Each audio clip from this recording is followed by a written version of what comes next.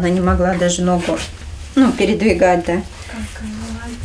Сейчас она уже уверенный такой шаговый рефлекс. Еще год назад маленькая Маруся не то что ходить, сидеть не могла.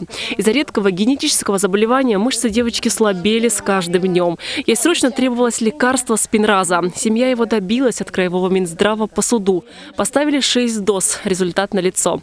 Однако препарат пожизненный, будет ли долгосрочное финансирование, никто не знает. Вся надежда на самый дорогостоящий укол в мире – швейцарский препарат Золгенсма.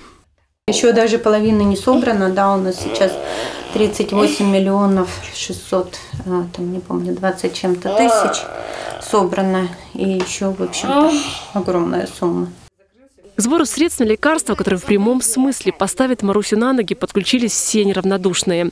Помогают благотворительные фонды, люди, присоединились и волонтеры. Запустили акцию по сбору макулатуры. Это общеизвестная мировая практика, которая дает шанс на вторую жизнь и бумажному листу, и людям, говорят добровольцы. Все вырученные средства, пусть и небольшие, направляют на лечение нуждающихся. Начали мы с конца февраля.